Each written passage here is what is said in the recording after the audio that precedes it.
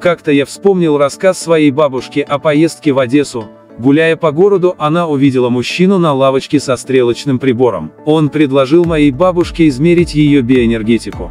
Прибор состоял из двух пластин цинковой, а другая медная, положив руки на прибор, аппарат зашкалил так, что пришлось ставить кратность x10.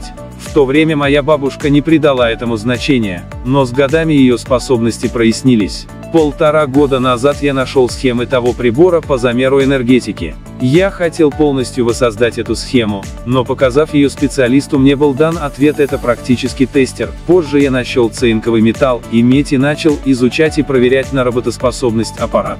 Поначалу я выдавал энергетику в 680 мА, потом измерял других людей число было в порядке до 750 мА. Я пробовал брать свой метеорит тот, что энергобатарейка показатель был в порядке 1500 мА. Позднее я выяснил, что при получении новой и интересной информации показатели увеличивались. Как это вообще работает?